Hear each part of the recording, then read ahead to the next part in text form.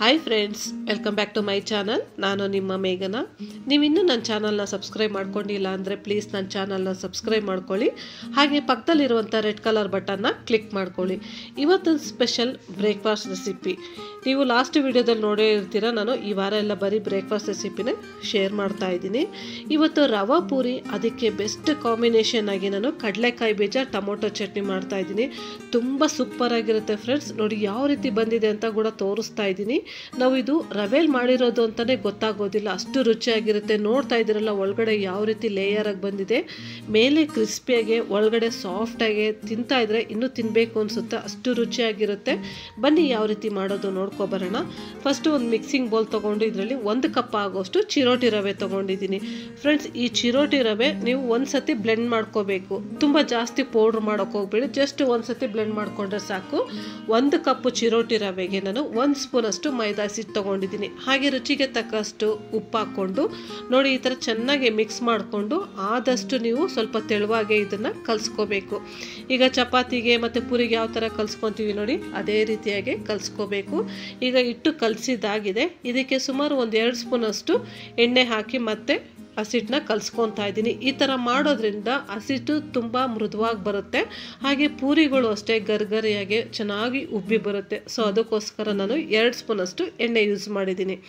So ಇವಾಗ ಹಸಿಟ್ಟು ಕಲಸಿದಾಗಿದೆ ಇದನ್ನು ಒಂದು ಪಕ್ಕಕ್ಕೆ ಎತ್ತಿಟ್ಕೊಂಡು ಚಟ್ನಿ ಯಾವ ರೀತಿ ಮಾಡೋದು ನೋಡ್ಕೊಬರೋಣ ಒಂದು ಫ್ರೈಯಿಂಗ್ ಪ್ಯಾನ್ ಇಟ್ಕೊಂಡು ಇದರಲ್ಲಿ ಒಂದು ಕಪ್ ಆಗೋಷ್ಟು ಕಡಲೆಕಾಯಿ ಬೀಜ ರೋಸ್ಟ್ ಮಾಡ್ಕೋತಾ ಇದ್ದೀನಿ ನೋಡಿ. ಆದಷ್ಟು ಮೀಡಿಯಮ್ ಟು ಲೋ ಫ್ಲೇಮಲ್ಲೇ ಇಟ್ಕೊಂಡು ಇದನ್ನು ರೋಸ್ಟ್ ಮಾಡ್ಕೋಬೇಕು. ಅದನ್ನು ಒಂದು ತಟ್ಟೆಲಿ ಎತ್ತಿಟ್ಟು ತೆಗೆದಿಟ್ಕೊಂಡಿದ್ದೀನಿ.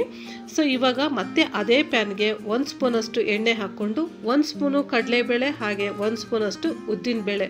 ಸ್ವಲ್ಪ ಕೆಂಪುಗಾಗೋವರೆಗೂ ಫ್ರೈ ಮಾಡ್ಕೋಬೇಕು. ಈಗ ನಾನು ಒಣಗಿದ ಮೆಣಸಿನ್ಕಾಯಿ ಹಾಗೆ ಬೆಳ್ಳುಳ್ಳಿ. ಒಣಗಿದ ಮೆಣಸಿನ್ಕಾಯಿ ನಿಮ್ಮ ಖಾರ ತಕ್ಕಾಗಿ ನೋಡಿ ಹಾಕ್ಕೊಳ್ಳಿ ಐದು ಹಾಕ್ಕೊಂಡಿದ್ದೀನಿ ಹಾಗೆ ಬೆಳ್ಳುಳ್ಳಿ ಹೆಸಲು ಒಂದು ಐದರಿಂದ ಆರು. ಟೊಮೊಟೊ ಮೀಡಿಯಮ್ ಸೈಜು ಎರಡು ತೊಗೊಂಡಿದ್ದೀನಿ ದೊಡ್ಡದಾದರೆ ಒಂದು ತೊಗೊಳ್ಳಿ.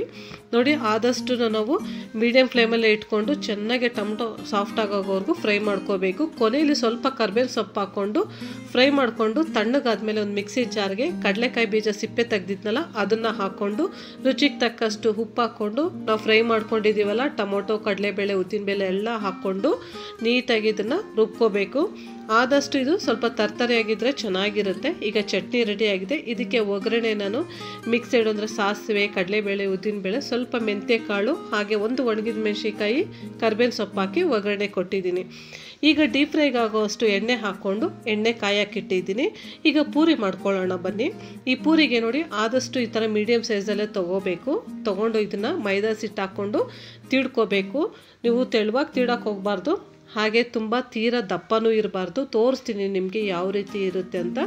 ಸೊ ನಾನು ಮಾಡೋ ರೀತಿಯಲ್ಲಿ ಮಾಡಿದ್ರೆ ನಿಮಗೆ ಚೆನ್ನಾಗಿ ಎಣ್ಣೆಗೆ ಹಾಕಿದ ತಕ್ಷಣ ಹಾಗೆ ಪುರಿ ಉಬ್ಬಿ ಬರುತ್ತೆ ಹೋಟ್ಲಲ್ಲಿ ಇದ್ದಂಗೆ. ನೋಡಿ, ಈ ಥರ ನೀಟಾಗಿ ತೀಡ್ಕೊಂಡಿದ್ದೀನಿ. ನೋಡ್ತಾ ಇದ್ದೀರಲ್ಲ, ಯಾವ ರೀತಿ ತೀಡ್ಕೊಂಡಿದ್ದೀನಿ. ಈಗ ಎಣ್ಣೆ ಕಾದಿದೆ ಅಂತಂದರೆ ನೋಡಿ, ಹಾಕಿದ ತಕ್ಷಣವೇ ಮೇಲೆ ಬಬಲ್ಸ್ ಥರ ಬರಬೇಕು. ಎಣ್ಣೆ ಚೆನ್ನಾಗಿ ಕಾದ್ಮೇಲೆ ಪೂರಿ ಹಾಕಿದ್ರೇ ನಿಮಗೆ ಪೂರಿ ಉಬ್ಬಿ ಬರೋದು ಇಲ್ಲ ಅಂತಂದರೆ ಬರೋದಿಲ್ಲ. ನೋಡಿ, ಇವಾಗ ಈ ಥರ ಸ್ಪೂನ್ ತೊಗೊಂಡು ಸುತ್ತೂ ಈ ಥರ ಪ್ರೆಸ್ ಮಾಡ್ತಾ ಮಾಡ್ತಾ ಬಂದರೆ ಪೂರಿ ತಾನಾಗಿ ತಾನೇ ಉಬ್ಬಿ ಬರುತ್ತೆ ನೋಡಿ. ಈ ರೀತಿ ನೋಡಿದ್ರಲ್ಲ, ಎಷ್ಟು ಚೆನ್ನಾಗಿ ಉಬ್ಬಿ ಬಂದಿದೆ ಅಂತ. ಈಗ ಇದನ್ನು ಸ್ವಲ್ಪ ಗೋಲ್ಡನ್ ಬ್ರೌನ್ ಬರೋವರೆಗೂ ಹಾಗೆ ಬಿಡಬೇಕು. ಆ ಗೋಲ್ಡನ್ ಬ್ರೌನ್ ಬಂದಮೇಲೆ ನೋಡಿ, ಒಂದು ಕಡೆಯಿಂದ ಇನ್ನೊಂದು ಕಡೆಗೆ ನಾನು ತಿರುಗಿಸಿ ಹಾಕ್ತಾ ಇದ್ದೀನಿ. ಇನ್ನು ನಿಮಗೆ ರೋಸ್ಟ್ ಆಗಬೇಕು ಅಂತಂದರೆ ಇನ್ನೂ ಒಂದು ನಿಮಿಷ ಡೀಪ್ ಫ್ರೈ ಮಾಡ್ಕೋಬೋದು. ಸೊ ಇವಾಗ ನೋಡ್ತಾ ಇದ್ದೀರಲ್ಲ, ಗರ್ಗರಿಯಾಗಿ ಯಾವ ರೀತಿ ಪೂರಿ, ರವಾ ಪೂರಿ ಮಾಡೋದು ಅದಕ್ಕೆ ಬೆಸ್ಟ್ ಕಾಂಬಿನೇಷನ್ ಆಗಿ ಕಡಲೆಕಾಯಿ ಬೀಜ, ಟೊಮೊಟೊ ಚಟ್ನಿ ರೆಡಿಯಾಗಿದೆ. ಫ್ರೆಂಡ್ಸ್ ನಾವು ಯಾವಾಗಲೂ ಗೋಧಿ, ಹಸಿಟ್ಟು, ಮೈದಾ ಹಸಿಟ್ಟು ಯೂಸ್ ಮಾಡಿ ಪೂರಿ ಮಾಡ್ತೀವಿ. ಅದೇ ಜಾಗದಲ್ಲಿ ಈ ಥರ ಒಂದು ಸತಿ ಟ್ರೈ ಮಾಡಿ ನೋಡಿ ತುಂಬಾ ಚೆನ್ನಾಗಿರುತ್ತೆ. ಈ ವಿಡಿಯೋ ನೋಡಿದ್ಮೇಲೆ ಖಂಡಿತ ಒಂದು ಸತಿ ಟ್ರೈ ಮಾಡಿ. ಹಾಗೆ ಹೇಗೆ ಬಂತು ಅಂತ ನನಗೆ ಕಮೆಂಟ್ ಹಾಕೋದು ಮಾತ್ರ ಮರಿಬೇಡಿ. ಇವತ್ತು ನಾನು ಮಾಡಿರೋ ಈ ರವಾ ಪೂರಿ ಹಾಗೆ ಚಟ್ನಿ ನಿಮಗೆ ಇಷ್ಟ ಆಗಿದ್ರೆ ಲೈಕ್ ಮಾಡಿ ಶೇರ್ ಮಾಡಿ, ಹಾಗೆ ನನ್ನ ಚಾನಲ್ನ ಸಬ್ಸ್ಕ್ರೈಬ್ ಆಗೋದು ಮಾತ್ರ ಮರೆಯಬೇಡಿ ಮತ್ತೆ ಮುಂದಿನ ರೆಸಿಪಿಯಲ್ಲಿ ಸಿಗೋಣ. ಅಲ್ಲಿವರೆಗೂ ಟೇಕ್ ಕೇರ್ ಫ್ರೆಂಡ್ಸ್ ಬಾಯ್